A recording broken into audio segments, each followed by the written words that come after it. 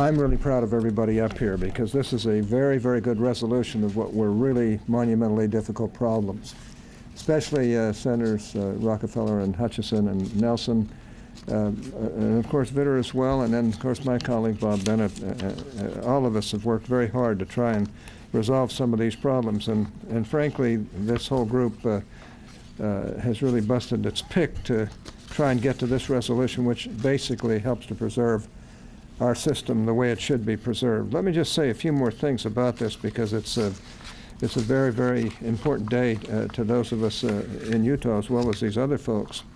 Six months ago, the administration announced the cancellation of Project Constellation. To many, this was the end of an era, the end of uh, manned spaceflight, and the end of civilian solid rocket motor production. However, today we are taking a major step away from the edge of what I consider to be an abyss.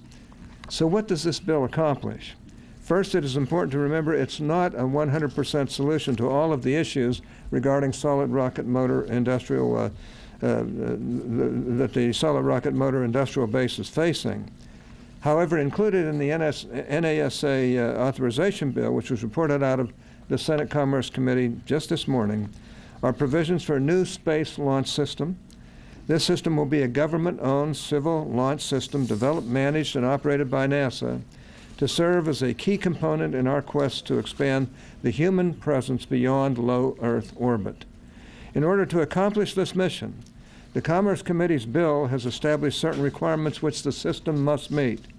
After speaking with experts in Utah, it is their conclusion that these requirements can only be realistically accomplished by using solid rocket motors.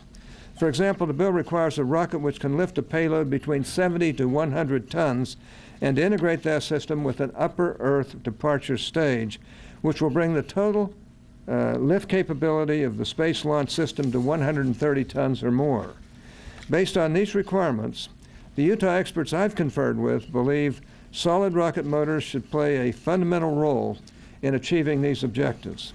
However, we must not get ahead of ourselves. This is only the first step in the legislative process, and nothing is final until it's signed into law. And even then, we will have to be vigilant. In addition, I'm still working on, and uh, Senator Bennett and I are still working on resolving a technical matter with the committee.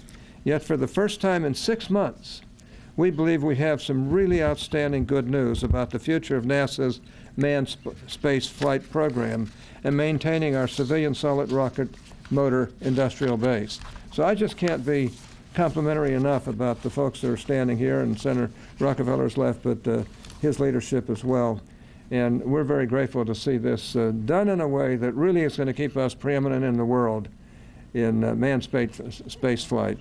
And it uh, wouldn't have happened but for the people here.